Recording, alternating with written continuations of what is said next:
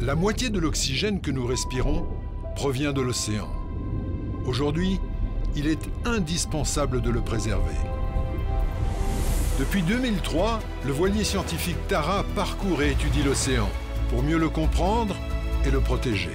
En faisant un don à la fondation Tara Expédition, vous soutenez la recherche, vitale pour notre avenir sur la planète.